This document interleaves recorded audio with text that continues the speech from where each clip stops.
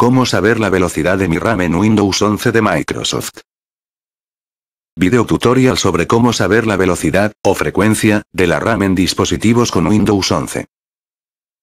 Pulsación prolongada en el menú de inicio o clic botón derecho del ratón. Clic derecho o pulsación corta sobre administrador de tareas. Pulsa en la pestaña rendimiento. Pulsa sobre memoria.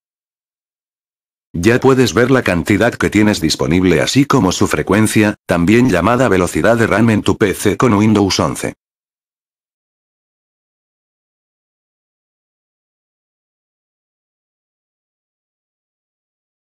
Espero que te haya gustado y haberme ganado un like, en cualquier caso, gracias por la visita.